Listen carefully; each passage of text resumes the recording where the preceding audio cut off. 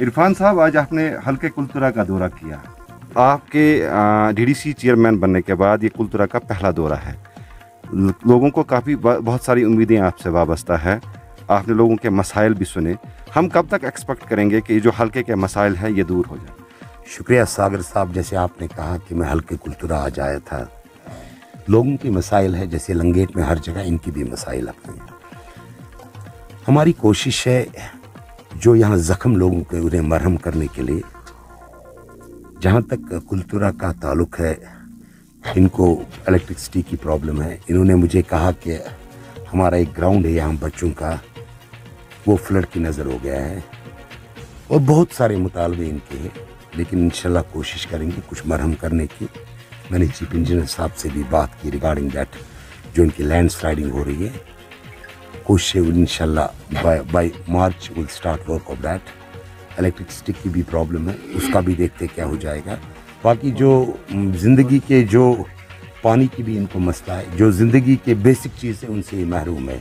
कोशिश है इनशाला मरहम देने की और देखते हैं इनशाला एक पहल है, एक नई सुबह है, हम भी उसी राह में चलते हैं। जैसे बेसिक फैसिलिटीज़ में वाटर सप्लाई आती है पीएचई सिस्टम यहाँ पर बिल्कुल डिफेंग है। अगर देखा जाए कि पाइपों का इतना नेटवर्क है कि अगर यहाँ पे जलजला हो जाए तो हम महसूस भी नहीं करते, इतना पाइपों का नेटवर्क बिछा हुआ है। लेकिन फिर भी लोग पानी से मरहूम है, महरूम है। तो हम कब तक एक्सपेक्ट करेंगे कि ये जो पानी का खास मसला कुलतरा के लिए बना हुआ है, ये कब तक हल हो देखिए, पिछले बारह साल खाली काम हो गया, पाइपें लगी है। सोर्स पानी का कहीं नहीं है।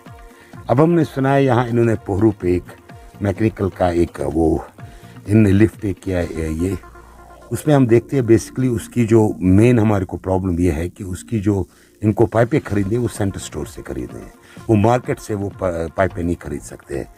अब मेरी कल भी एग्ज़ाम के साथ बात हो गई। वो पाइपें मेरे ख्याल में परचेज बाय दिस मंथ करेंगे। इनशाला मार्च में भी वो मसला, और जैसा आपने कहा, सही पाइपें कहीं हैं, लेकिन सोर्स ऑफ़ वाटर नहीं है। हमारी जो तरजीह है इस वक्त, खासकर जो चकले पोहरों के ये गाँव है, इनको आप ये they live beside the river ये पानी के साथ रहते हैं लेकिन पीने के लिए इनको खतरा नहीं है।